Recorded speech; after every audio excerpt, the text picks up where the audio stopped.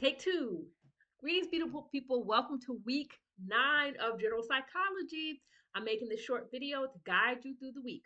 So, um, this week our topics are psychological disorders and therapy.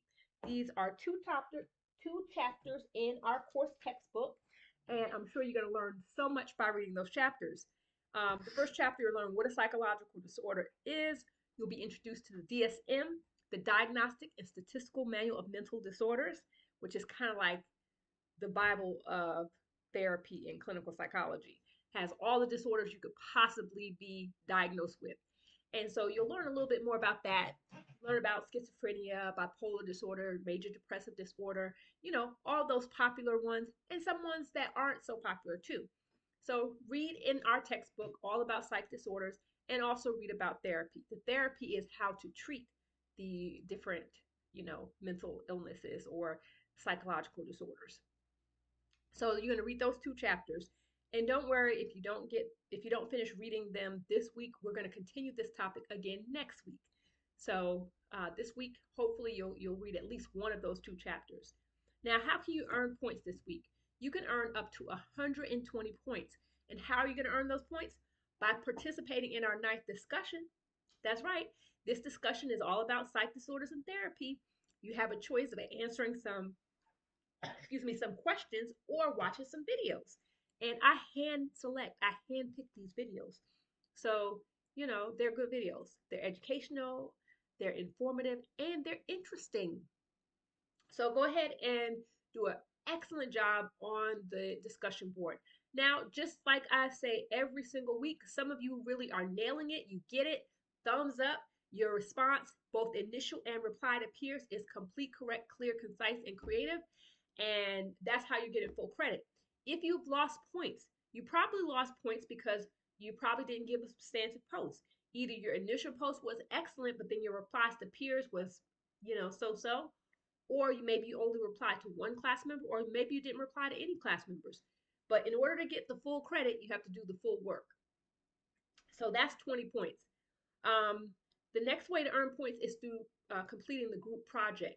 Now, some of the groups are doing an excellent job and you're breezing right along and you're having fun and you're like, this was good. I never knew that having being a part of a group for a class could be so much fun, could be so informative. And some of you are like, this project sucks. The teacher shouldn't make us do this. This is an online class. I want to be by myself. Okay, either experience you're having, that's not my business. I'm here to help you learn, to help you grow. And one of the benefits of participating in this group project is you get to hone your intrapersonal and interpersonal intelligence. That's right, you get to work on your emotional intelligence. You get to learn a little bit more about yourself and a little bit more about others and working with others. So that's an added benefit in addition to the research you did on your topic. So now when it comes to this project, I grade the group as a whole so you want to make sure you're connecting with your group members and you're working together and you present to me a seamless, coherent presentation because that's how you're going to maximize your points. I've included a rubric in the assignment. So I would say look at the rubric. It tells you exactly how you're how you grade it. Very similar to the discussion board. You want your presentation to be complete, correct, clear, concise, and creative. Also, you want to collaborate. All those C's. By complete, I mean you have identified your topic and you thoroughly discussed it within the allotted time. You only need about 15 or 16 slides, not including the cover page and the reference page.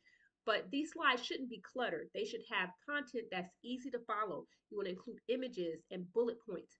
Um, if you can use in-text citations, that's a bonus. That's the um, correct part. This will show that you where you got your information and it gives some credibility to what you're talking about you are having a reference slide at the end, which again shows where you got your information. And, you know, this is kind of a, a testament to how accurate the information that you're sharing. So complete correct. By clear, uh, use a pattern that's not too busy in terms of the slideshow. If you're doing a video, make sure there's not a lot of background noise. But you know, it you want to proofread and find any errors and fix them prior to turning in your final draft. Um, complete correct clear, concise. You don't want to turn in 50 slides for this 15 minute presentation. Okay. This is a 15 minute presentation, the equivalent of a 15 minute presentation. So if you need 20, 30 slides, okay, I get it. but you really shouldn't need more than, you know, a decent amount. Um, I'm suggesting 15, but some people may need 20, not including the cover slide and the references. That's okay, but you don't want to go overboard and have like 50 slides because what that says to me is you didn't narrow down your topic. Okay? So you you you know, you want to go deep. You want to impress me, impress your class members. That's the goal. Complete, correct, clear, concise. By creative, I mean don't just go through the motions. Put some effort into it, okay? Put some effort into it. Let me see your personality. You know, I try. I really try. Um, some of you have noticed that these questions on the discussion board are interesting. They're I give some, you know, basic questions too, but I come up with some fun ways to explore the topic. Why? Because I put some effort into it. And I expect you to put some effort into this presentation too. Okay? And by collaboration, work together. Some of you are still resisting thinking you're going to turn in your own individual um, individual PowerPoint and you're going to turn in five different PowerPoints. Well, all of you are going to lose points if you do that. Okay? This is a group project. Group project. Not solo project, group project. Okay? So have fun with it. All right? I'm here to help you. I'm available Monday through Thursday. I have office hours in the mornings and I check my email usually twice a day. Also check check the questions thread. So if you post a question to the questions thread, I will see it and I will get back with you. Um, that's how you earn your points this week. The group project is worth 100 points, and the discussion is worth nine. Uh, excuse me, discussion nine is worth 20 points. So that's 120 points. That's what's going on. Our topics are psychological disorders and therapy, and the two assignments are worth a total of 120 points. If you have questions, comments, compliments, or concerns, go ahead and hit me up. I'm here for you. Um, in the comment section here on YouTube, you can go ahead and drop me a line and let me know if there's something you would like me to consider.